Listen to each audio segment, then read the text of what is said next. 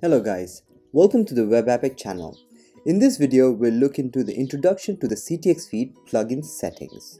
So without further ado, let's jump in and learn how exactly we can do this. To find the setting options in CTX feed, go to the plugin and under the plugin, click on settings. Now here, you can see the common settings. The first thing we'll be looking at is the product per batch. The CTX Feed plugin processes the products in small batches to make feed so that it can make feed for unlimited products. By default, the product per batch is set to 200. This means if you have 1000 products and the product per batch is set to 200, that means the plugin will query and process the product information in 5 batches. Depending on your total product quantity and server capability, you can increase or decrease the product per batch value. You can also decrease the product per batch value if you don't want to increase the PHP limit. Next, we've got the product query type.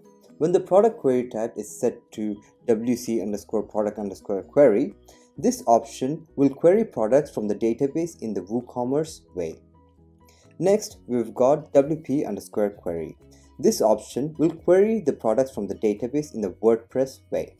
If you choose the option both, that means the plugin will query products from the database both the WooCommerce way and the WordPress way. The reason behind this option is that some stores bulk upload products using the plugin instead of WooCommerce default product import option. If bulk upload plugin does not follow the WooCommerce standard to import products, then the WC product query detects the product as post and the bulk uploaded product gets missing from the feed. So, if you're missing any products from the feed or are using a very old version of WooCommerce, then you can set the product query type to both. The next option that we have is the variation query type. When your store has more product variations than simple products, then you need to set the variation query type to individual. For example, your site has 4 simple products and 5 variable products. Each variable product has 10 variations. So the total product variation on your database is 50 and simple products will be 5. In this case, you'll need to set the variation query type to individual.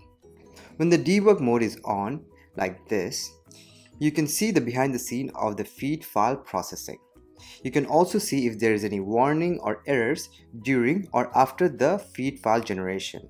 By default, the debug mode is set to off. During feed generation, this is a step-based workflow. You may want to know what is happening during the feed generation and if there are any errors during that time. CTX Feed gives you the opportunity to download the feed log files where you can see the feed generation logs. When you click this checkbox, enable the send debug info option, CTX Feed will collect your debug information and send it to your support team so that the support team can understand your site configuration and give you a solution for your issue. Before opening a support ticket, you can enable this option. You can also see which information will be collected from your site by clicking see what we collect link right here. Now we have the CTX Feed Cache TTL. CTX Feed plugin uses its own caching system to load the plugins faster. With this option, you can set how often the caching data will be updated with the latest info. 6 hour interval seems to be the best value for this setting. To immediately clear up the cache, click on the Purge Cache Now button and save the settings. Also, you'll get a red color Clear Cache button on your Make Feed and Manage Feed page to clear your cache immediately. Now, let's move on to WooCommerce Default Schema Override. By default, WooCommerce plugin provides product schema to the product page. The old version of WooCommerce has some issues with the product schema. So if you're using an old version of WooCommerce which is below 4.0, you need to set this option to on, otherwise turn this option off. With this option, you can disable or enable Facebook Pixel. As you can see, using your plugin, you can use Facebook Pixel support on your website.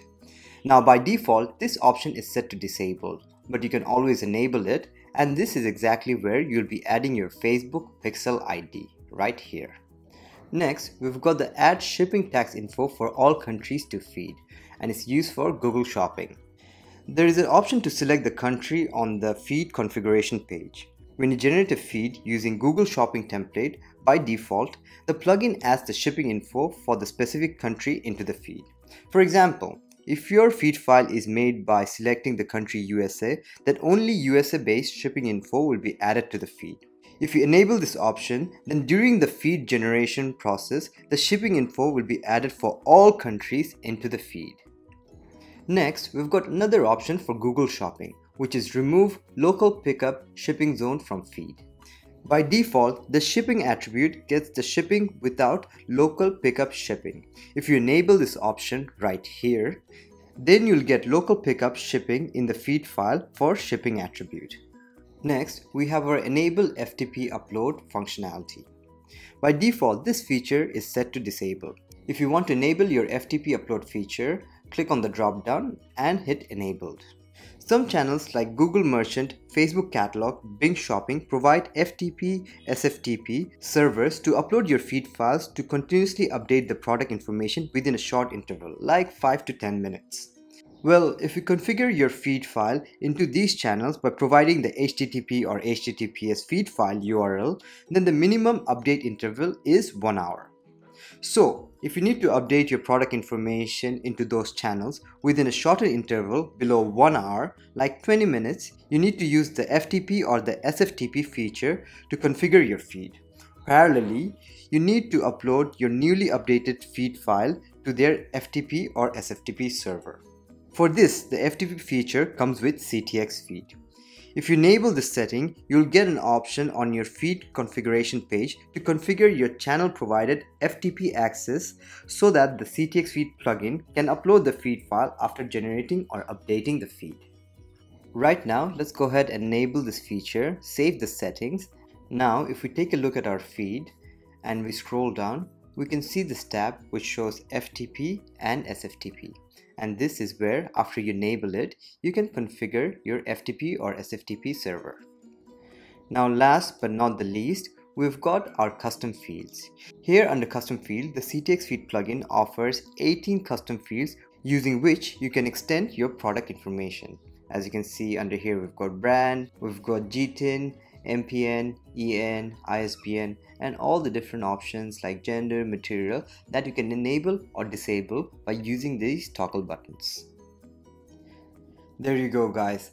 Now you have gotten a complete introduction to the CTX Feed plugin settings options. If you have any questions or issues, you're welcome to reach out to us at support at webappick.com. I hope you guys found this video useful. Please leave a like and subscribe to this channel for more videos like this. I hope everybody has a good day. Thank you very much.